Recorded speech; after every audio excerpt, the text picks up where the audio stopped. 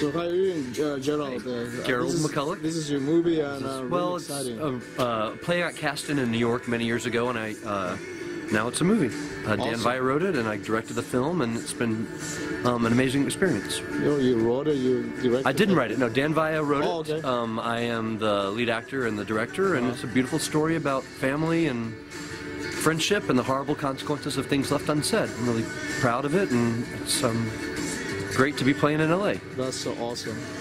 Congratulations. Thank you, Uh, want to look forward to watch the movie. Well, I look forward to you seeing it. All right, Thank thanks, you so man. much, bro.